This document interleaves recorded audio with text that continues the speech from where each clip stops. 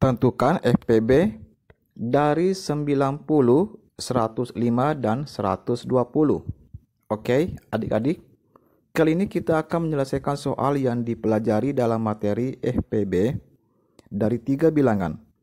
Buat dulu pohon faktornya. Pohon faktor dari 90 adalah 2 dikali 45. 3 dikali 15, 3 dikali 5. Jadi faktorisasi prima dari 90 adalah 2 dikali 3 dikali 3 dikali 5 sama dengan 2 dikali 3 pangkat 2 dikali 5.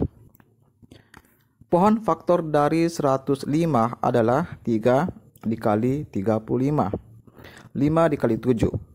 Jadi, faktorisasi prima dari 105 adalah 3 dikali 5 dikali 7. Pohon faktor dari 120 adalah 2 dikali 60, 2 dikali 30, 2 dikali 15, 3 dikali 5.